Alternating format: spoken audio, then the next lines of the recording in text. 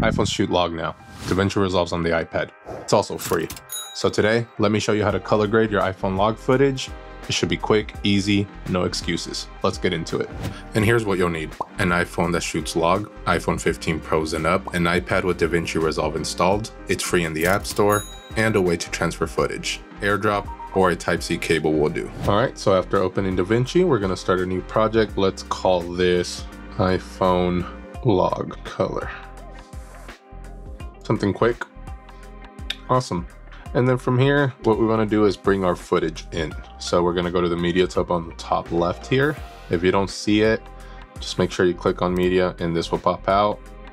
After you're in media, I'm gonna hold on the tab anywhere in this little window.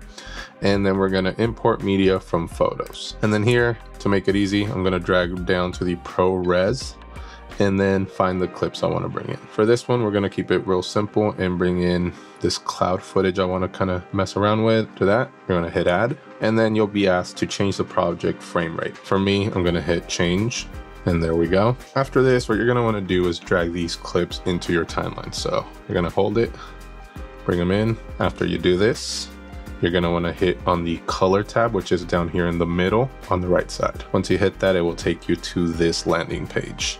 Right now I'm noticing I have a 16 by 9 aspect ratio, so I wanna switch that. We're gonna go to our little settings wheel on the bottom right, and then we're gonna hit here, use vertical resolution, and hit save. Now we have a vertical clip. Starting here, you're gonna see some nodes, which I know could be scary, but just hang in here with me and we're gonna make this super simple. Today we're just going to really learn the basics of transforming your log footage to Rec 07 and then doing some minimal tweaks.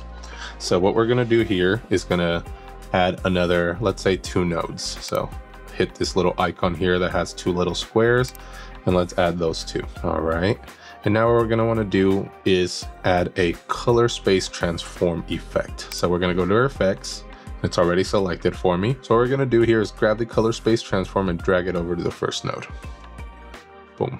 And you're gonna see these settings here on the right where all the magic is gonna happen. So what we're gonna do, the input color space, we're gonna wanna set this to Rec 2020. And then input gamma, this is gonna be Apple log. You can already see our footage starting to change a little bit. And for our output color space, we're gonna set this to Rec 709. There we go. And output gamma should be Rec 709A. So there we go. Um, Something that we forgot to do a little bit earlier is name our nodes. So we're gonna hold on the node here and label it. But we're gonna wanna call this first one is CST for color space transform. The second one, we're gonna label this as well. We're gonna call this EXP for exposure. And the last one we'll call grade, since this is where we'll be tweaking a few things. And then something I don't like about iPad is that the space is a little limited, so sometimes you won't see certain icons. For example, this little color wheel with the three sparkles. Um, this is a quick way to just see your before and after. Um, here you can see how it looked when we brought it in, and now how that simple color space transform added a little bit of life to it. But we're not done here. Now we're gonna wanna go to the EXP node. EXP node, this is where we're gonna really handle the exposure, make sure it's not too bright, not too dark, all right? So here we're gonna change this with our offset, which if you see on these wheels here is gonna be the far right. And we're gonna mess with this little wheel under those numbers. So we're just gonna drag this. Let's make this brighter. So as you see, that's going a little brighter. And you, if you wanted to, you could go super dark, but me, I wanna brighten that up a little bit. Now let's go to our grade node. Here, what we're gonna do is mess with the colors, contrast, um, tweak a few little things. Today we're gonna really just stay within this um, color wheels here. I'm not gonna go too in depth. So what we're gonna do here is add a little bit of contrast. Make that pop out a little more, there we go. Um, and then let me see these shadows, make it a little darker, there we are.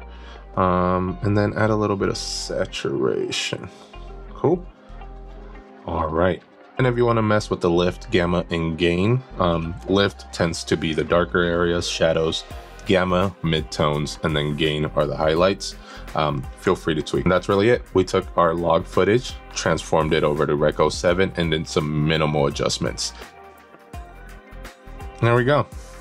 And then let's just say you want to turn in the saturation a bit. There we go. Add a little more contrast. Like you could get really creative with this, which is really great. Maybe I'll make another video where I dive a little more in depth, but for now, quick and easy, free, can't complain. Thanks for watching. Hasta luego.